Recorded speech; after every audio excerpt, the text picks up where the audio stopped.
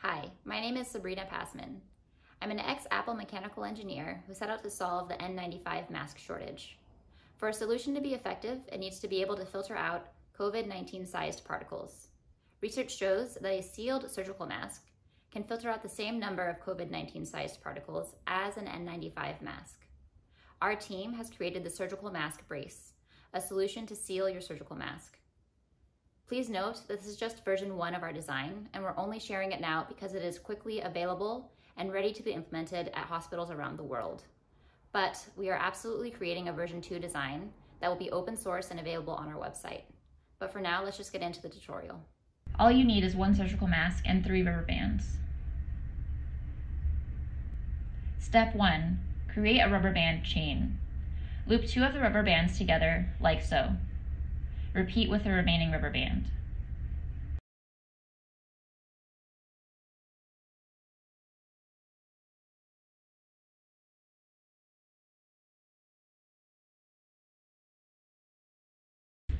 Step 2. Apply your surgical mask. Stretch the mask over your nose and chin and minimize the number of pleats. Step 3. Stretch the central rubber band over your nose and mouth, and secure the side rubber bands behind your ears.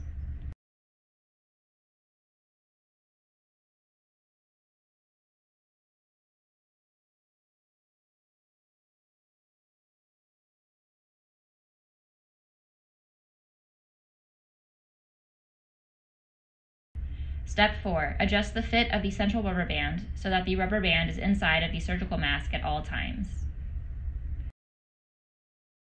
Now we can perform a quick seal check as guided by the CDC. Place both hands completely over the respirator and exhale.